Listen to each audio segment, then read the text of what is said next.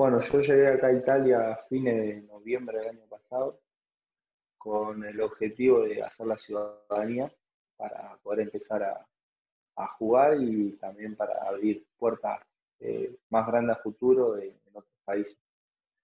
Por eso el objetivo número uno eh, a la hora de venir acá era tramitar toda la ciudadanía, los papeles y, ya empezar, ¿no?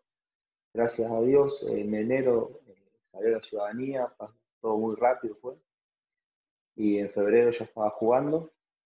Eh, y bueno, lamentablemente, a principios de marzo se suspendió todo por, el coronavirus. Hasta, y bueno, después volví para Argentina.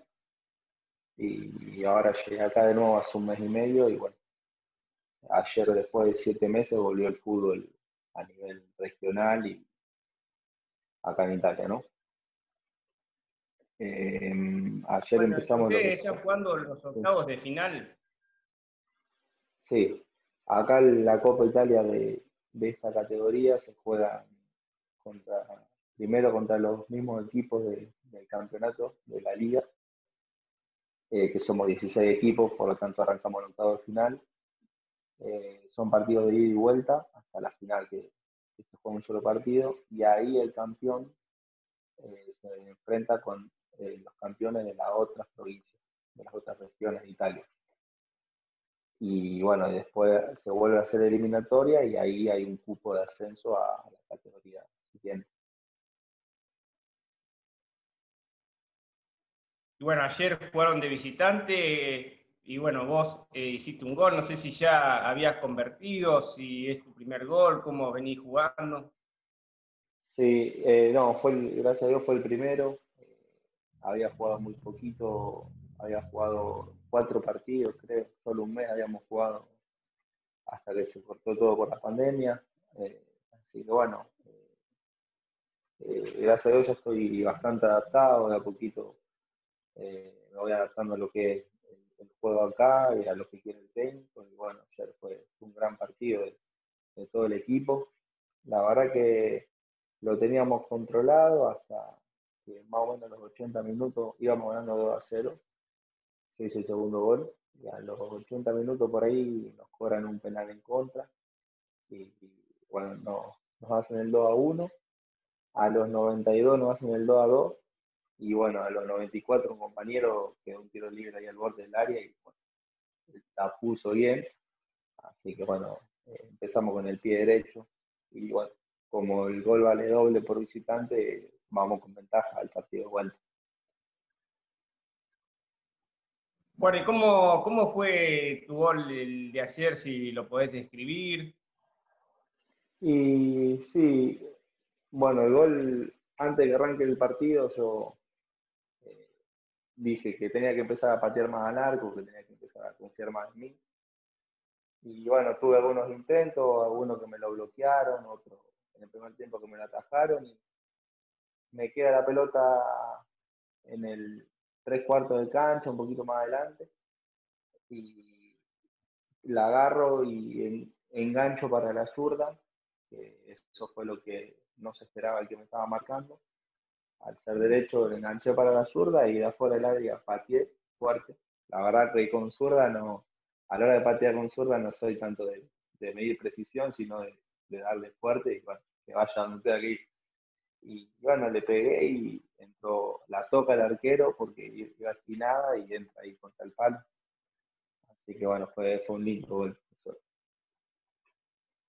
Bueno, ¿cómo es tu experiencia con tus compañeros, con el técnico? Me imagino que el gol te da confianza y bueno, eh, también te entusiasma porque bueno, también es difícil arrancar siendo tan joven y bueno, en un país totalmente diferente, con otro idioma y también otra cultura y otras costumbres. Eh, sí, la verdad, yo lo que le cuento a mi familia o a, la gente que hablo, obviamente el europeo no es tan abierto, es medio complicado. Eh, en Italia, por ahí, más al sur, es más fácil, pero, pero bueno, es algo que con el tiempo uno se tiene que hacer respetar, tiene que eh, ir agarrando confianza y que los demás confíen en uno.